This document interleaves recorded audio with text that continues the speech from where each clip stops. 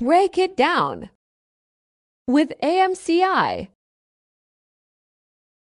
Let's break down the medical term angioplasty. The root word angio means vessel.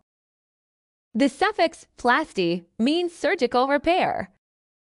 When you combine the root word and the suffix, you get the definition. Surgical repair or unblocking of a blood vessel, especially a coronary artery.